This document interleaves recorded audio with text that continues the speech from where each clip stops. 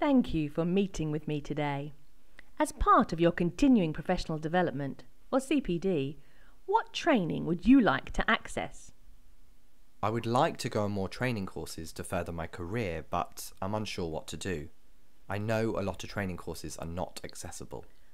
I know, but RAD is in the process of setting up the DeafAdvance Training Centre, providing accessible courses for deaf people. Wow, that's fantastic news. Yes, we are really looking forward to it launching soon.